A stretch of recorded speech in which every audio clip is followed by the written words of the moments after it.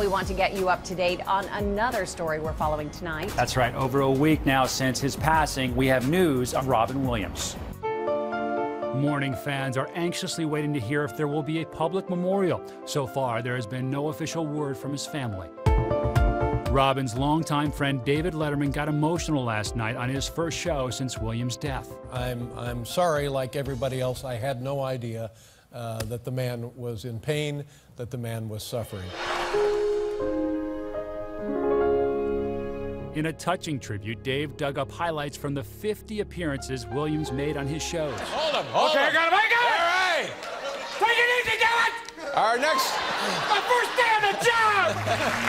Aren't you glad you didn't see this at the surgery? Hey, Dave, it's me! It's a friend from a long time. Yeah, I've known him for, God, it's 27 years.